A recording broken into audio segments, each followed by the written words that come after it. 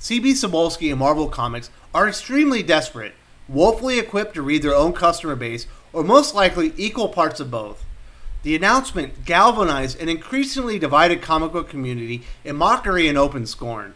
This week's Marvel Comics releases contain teaser images featuring creators for an upcoming event in August 2019. Speculation began almost immediately, many believing they were associated with the upcoming Absolute Carnage event or Marvel's 80th anniversary celebration. In my own Comics Aficionados Collaborators discussion group, many of my cohorts were giddy with excitement. Everyone knew this was Marvel EIC CB Cebulski's baby. Some thought he was finally getting free reign to manage Marvel Comics for a change. There was a chance Marvel was returning to its roots by bringing back a core of great creators, ushering in a renewed focus on quality and customer satisfaction. I was personally a bit out of the loop at the time. I couldn't keep up with the details, but I saw a lot of buzz on social media. But I was highly skeptical Marvel would drop their SJW focus and course correct their comics lineup. In the end, my cynicism was proven right, and customers' excitement for the announcement was deflated soon after. Turns out, CB Cebulski's baby is nothing more than a manufactured one off cash grab. Marvel Comics 1000 commemorates the 80th anniversary of Marvel Comics number 1, released in 1939. Unfortunately, the series was canceled after only 159 issues in 1959.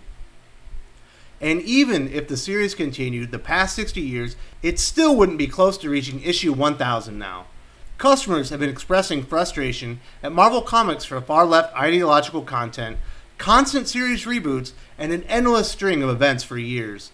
Now, Marvel Comics' genius leadership team are falsely manufacturing an issue 1000 they never earned to bilk readers and retailers out of even more money.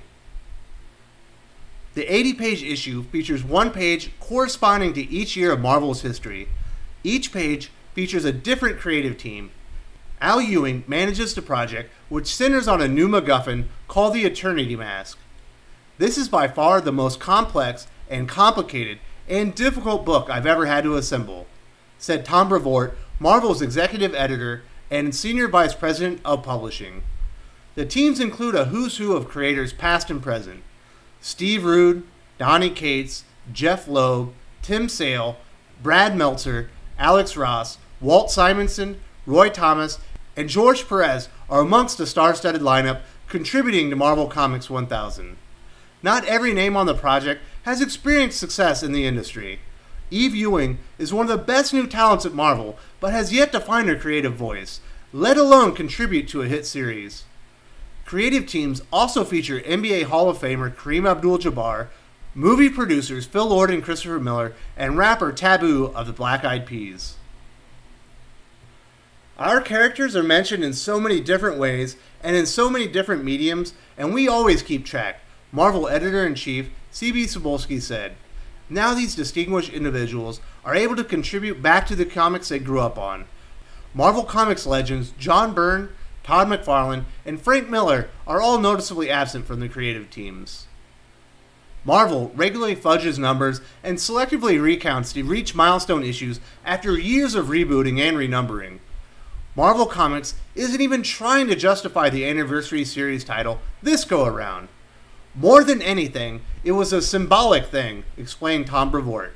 What it symbolizes truly depends on the receiver. I'm stuck between absolute desperation and sheer stupidity. The 1000 numbering is a clear response to DC Comics' recent success with their milestone issues. DC Comics Action Comics reached the 1000 issue landmark in April 2018. Their Detective Comics series reached the milestone soon after in March 2019. Both commemorative issues, released as 80 page giants, featuring DC Comics' most respected writers and artists, both current and past. Both issues were widely anticipated and enormous financial successes for Marvel's rival. Green with envy, Marvel is attempting to cash in on the 1,000 issue breakthrough without coming close to actually achieving it themselves. Reactions from scores of readers, writers, and artists to the announcement include everything from contempt, mocking, and shade. Marvel's use of the symbolic, aka empty, number 1000 struck the largest nerve. Fair criticism, as both DC Comics series printed 1,000 issues each before reaching the landmark number. Current Batman scribe Tom King even tweeted that DC retitled his upcoming Mr. Miracle hardcover to Darkseid is number 1000. There was genuine anticipation in the comic book community in response to Marvel's teaser images. Reader excitement was fervent across the board for 48 hours before the Marvel 1000 announcement. Customer hope for Marvel's return to its former glory was real. CB Cebulski, Tom Brevoort, and Marvel Comics once again squandered a chance to make amends and bring back part of their lost customer base. Instead, they're going for the easy buck by making up an accomplishment out of jealousy and greed. How many more times will customers allow their hopes to rise before having the rug pulled out once again? Marvel Comics is walking a fine line. Customers and retailers are fed up. The amount of time they have to turn things around can likely be counted in months. If Marvel doesn't move on from CB and his abhorrent leadership and clean house soon, the industry as we know it might be beyond saving. One need look no further than April 2019 sales numbers. On the surface, sales numbers look great for Marvel. Powered by four issue number ones in the top 10, Marvel moved over 50% of all comics shipped and held 45% of the dollar market share in April 2019. War of the Realms number 1 was the top issue ship, followed by Symbiote Spider Man number 1 at the number 2 spot. Marvel also landed Immortal Hulk number 16, Thanos number 1, Web of Venom, Cult of Carnage number 1, and Amazing Spider Man number 20 in the top 10. DC Comics landed four issues in the top 10, led by The Batman Who Laughs number 4 at the number 3 position. If you dig a bit deeper, things look much worse for Marvel and the comic book industry in general. War of the Realms is Marvel's big line wide event and is tied to several ordering schemes to prop up sales. Thanos, released in conjunction with Avengers Endgame, which appears well on its way to shattering the all time global box office record. Cult of Carnage is a precursor to Marvel's highly anticipated Absolute Carnage event. These issues were all priced above the industry standard $3.99. Despite all these factors in Marvel's favor and a 50% market share, dollars sold are down 11% compared to March 2019. Comic book dollar sales dropped a whopping 14.6% in comparison to April 2018. Overall, comic book and graphic novel dollar sales in April were down 17.65% compared to April 2018, though down a slightly lesser 15.24% in total units shipped. Thanks to the overwhelming success of last month's Detective Comics 1000, comic book and graphic novel dollar sales are up 0.41% through the first four months of 2019, but down 5.4% in units shipped. Marvel has some legit hits on their hands with Amazing Spider Man, Venom, and Immortal Hulk, but they desperately need more titles that can move sales past issue 1. Marvel's recently announced Black Cat series has enough early buzz that it might be its next certified hit. Felicia Hardy finally gets her first solo series following the Amazing Spider Man's Hunted story arc. Black Cat features writer Jed MacKay and art by Mike Dowling, Travel Foreman, and Nao Fuji. But it's J. Scott Campbell's beautiful vintage cover that's creating the most buzz for the series. Black Cat number 1 is scheduled to arrive in stores on 5 June. With the recent cutbacks at DC Comics, talented writers and artists are sure to be hitting the free agent market. Marvel Comics signed artist Patrick Gleason to an exclusive deal. They announced the agreement at Fan Expo Dallas.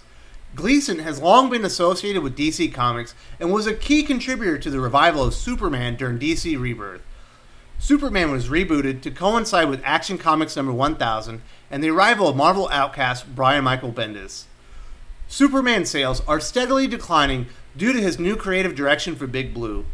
Gleason's recent DC work includes illustrating the Young Justice relaunch. Bendis is also currently destroying the Young Justice series. Gleason's first Marvel work arrives in a short story in July's Amazing Spider Man 25.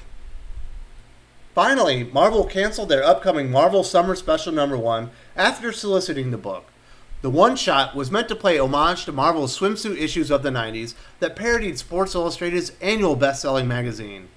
Thankfully, someone at Marvel had enough sense to inform Cebulski and Brevoort swimsuit issues aren't really a thing in 2019. and the only readers to get the gag would be in their 40s and up. The issue was scheduled to feature 40 pages and a $4.99 price tag. No word on the status of Marvel's other woefully out of date homages to Saved by the Bell, computer game Trailblazer The Oregon Trail, and Cebulski favorite TV Dinners. Recent community buzz surrounding Marvel Comics is dominated by Marvel Comics 1000.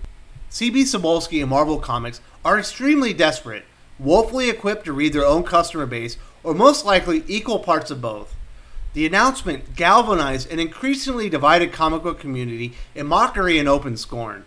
Marvel Comics continues to struggle to find real estate in the top 10 comics shipped outside of Spider Man, Immortal Hulk, and number one issues. Relief may be in sight, buzz surrounding the upcoming Black Cat series is very high. Artist Patrick Gleason is also highly regarded and, if placed on the right series, could have positive impact on future sales.